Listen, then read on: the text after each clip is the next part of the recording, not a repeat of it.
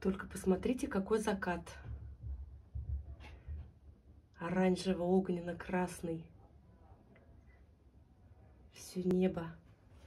Зашла на кухню, уже вечер у нас зашла, шторы закрыты. И через шторы прям все видно было, сейчас уже поменьше. Прям оранжевым, красным светило. Кухня была вот здесь все озарена. Вот немножечко осталось. Так было красиво. Я ж прям испугалась даже сначала. Вот такие закаты в Питере после сильного дождя.